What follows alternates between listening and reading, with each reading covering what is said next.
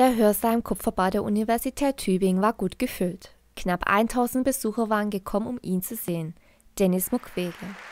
Für seinen Einsatz für Mädchen und Frauen, die Opfer von sexualisierter Kriegsgewalt wurden, erhielt er 2018 den Friedensnobelpreis. Was er im Kongo erlebt hat und wie es zu seinem Engagement kam, erzählt er in einem Beispiel.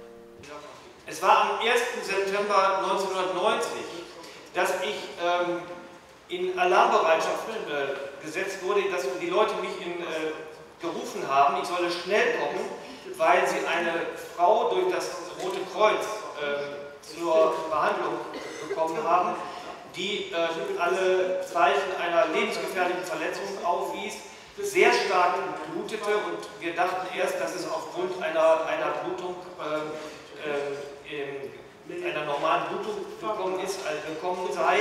Aber dann haben wir gemerkt, dass diese Frau auf schwerste und brutal verletzt worden ist durch Waffen. Elle était violée par sept hommes en armes et après l'avoir violée, ils n'ont pas trouvé que c'était Wir haben dann festgestellt, dass sieben Männer diese Frauen vergewaltigt haben und als sei das noch nicht genug, eine solche Untat zu begehen, haben diese Leute noch ihr Gewehr genommen, es in ihre Genitalien eingeführt und zum und abgedrückt. Ich war völlig außer mir und meine, äh, mein, alle meine Mitarbeiterinnen und ich hatten gedacht, dass das vielleicht noch ein Einzelfall sein könnte. Wir wussten damals noch nicht, dass das der Beginn eines ewigen Traumas sein würde. Massenvergewaltigung als billige Kriegswaffe. Häufig werden alle Frauen eines Dorfes vergewaltigt. Mukwege erzählt von bis zu 300 in einer Nacht. Das Ziel der Banden, Reichtümer sichern und Bodenschätze aneignen. Was wir dagegen tun können? Und ähm, wir fordern, ich fordere von der Regierung, von der deutschen Regierung und der EU, dass sie daran arbeitet, im, während in den Änderungen, die durch den Klimawandel bewirkt werden, ähm, und für die wir Afrika sehr, sehr, sehr, sehr teure Zahlen mit einer enormen Trockenheit, dass hier im Respekt der Würde des Menschen und der Menschenrechte dafür gearbeitet wird. Auch dass, ähm, dass der Abbau der Bodenschätze, die Verwertung der Bodenschätze und der Abbau der Bodenschätze in einem ethisch vertretbaren äh, Art geschieht. Meine zweite Forderung Kirchen, ob sie katholisch sind oder evangelisch.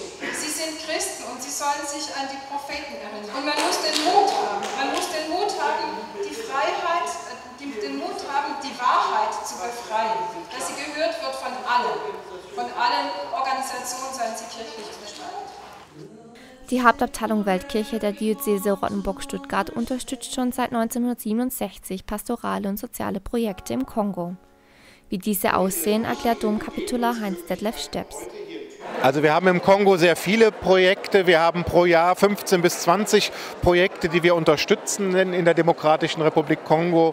Und es haben ganz, ganz verschiedene Dinge, die wir dort unterstützen, von der Bildungsarbeit über die erneuerbaren Energien bis zu pastoralen Strukturen und natürlich auch auf dem Gesundheitssektor. Bei uns ist es wichtig, in ganz, ganz vielen Projekten in der Welt Frauen zu unterstützen, Frauen stark zu machen.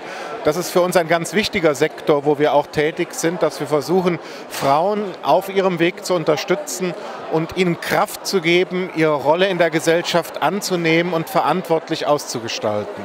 Über die Rechte der Frauen im Kongo und unsere Verantwortung ihnen gegenüber spricht Dennis Mukwege heute Abend in der Stiftskirche in Stuttgart.